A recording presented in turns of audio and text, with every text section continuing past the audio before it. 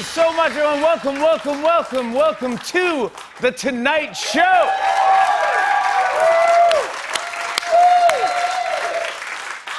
Well, guys, uh, the big story today is that following this week's Supreme Court ruling, Trump was forced to turn over millions of pages of his tax records to the Manhattan District Attorney's Office.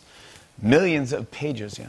The only place you'll find more ink is Rudy Giuliani's sideburns.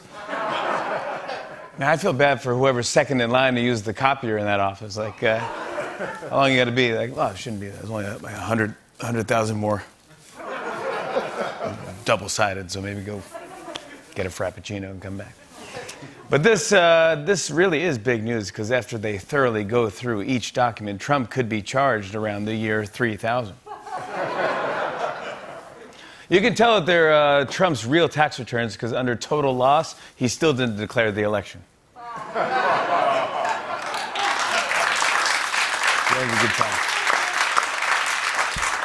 Speaking of Trump, President Biden's been in office just over a month, and people have noticed that he never calls Trump by name. He'll call him the former guy or mention the previous administration. I mean, he's even called him things uh, like. here we go. Street? What's up? Uh, let me guess. Now you're gonna do a silly bit where you list a bunch of funny nicknames that Biden called Trump. I mean, yeah, that was that was the, that was the plan. And each joke will pop up as a graphic so everyone can see it and laugh about it. Right, right. Jokes work better when there's a visual component. Sure. It's all so predictable. Like the graphic will be a photo of Biden and Trump, and then under Trump you'll list names like LL Cool J, or or or one Terminator, uh-huh. or uh, Don Jr. Senior, or or uh, Princess impeached, or something like the only guy on MySpace right now. and then you'll close with something a little more risque, like YMCA hole. Oh.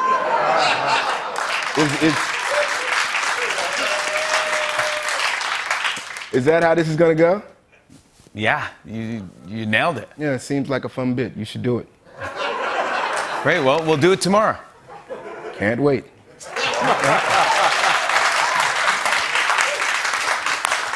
Well, this is crazy. On a recent flight from Cincinnati to Phoenix, a pilot noticed something strange in the air. Listen to this.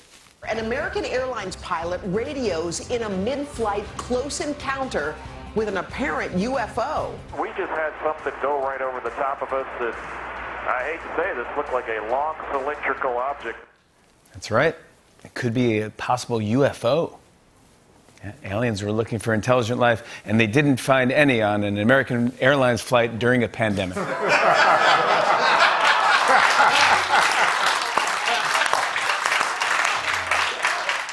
I love UFO sightings. You know, it's like that, that could be an alien or, or a Domino's delivery drone. When they heard United was like, sorry, our bad, that was our plane, the wings just fell off. Hey, listen to this. The CDC just found out that gyms with maskless users are considered to be high risk for the spread of COVID. Yep, the, the report also found that uh, people running on the train tracks are more likely to get hit by a subway.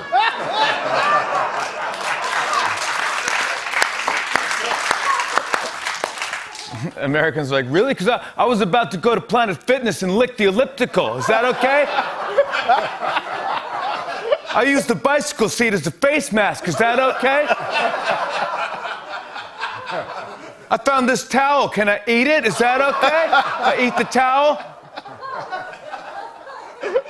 Get sued by Brian Regan. Yet the CDC says people must wear masks and put at least 20% more effort into pretending to wipe down the machines. That's right, gyms with maskless users are high risk for spread of COVID, and they're not the only risky places. Watch this. Well, new this morning, CDC researchers say masks may be key, particularly to stopping the spread of COVID 19 at gyms. Masks are also key in stopping the spread of COVID at the following places hot breath competitions, sneeze buffets, fever only yoga, tickle and cough parties, human petting zoos, lollipop swap shops, and Fyre Festival 2. Oh, come on now. Fyre Festival too. I, I got tickets to that. Yeah. Hot breath competition. That's uh, some entertainment news. In a three hour event yesterday, Paramount Plus revealed all of the content that will be available on the new streaming service next month. People are already calling it the best streaming service next to Netflix, Hulu, Apple TV, HBO Max, Disney Plus, Discovery Plus, ESPN Plus, Amazon, and Peacock. Soon people are going to be searching through 20 streaming platforms and go, I wish they'd invent something where you could find all these shows in one place.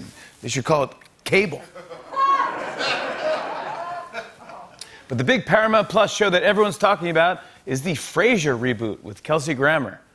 Yep, they want to attract young viewers, so naturally they rebooted a show about a seven year old therapist. I wonder if uh, Kelsey Grammer's agent was like, I got it.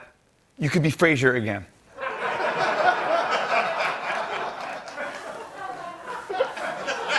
Morty, you son of a bitch. You did it again.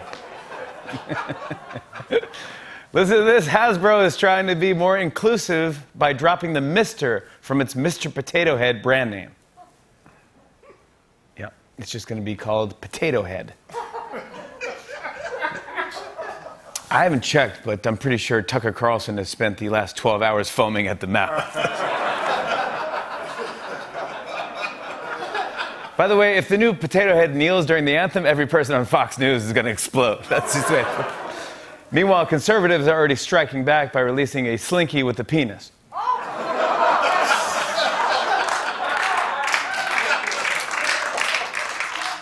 Some news from overseas in England. There are reports of counterfeit wine bottles. Listen to this.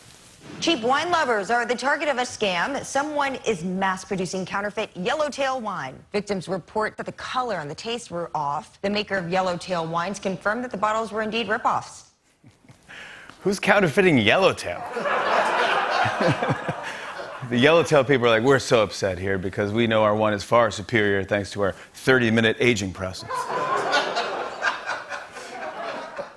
Get this in Washington, a high school band is practicing in pop up tents in an effort to prevent the spread of COVID. Yeah. Practicing is easy, the hard part is marching. Uh, parents at the concert will be like, that's mine, green tent number 24. I'm sure the kids are just happy to play. Can we see another picture?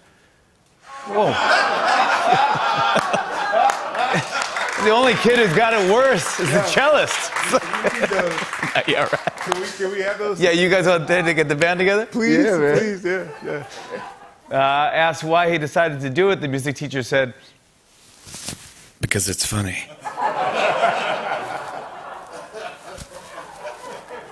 and finally, we're all bored during the pandemic, but check out what this Colorado woman saw two guys doing in the snow last week.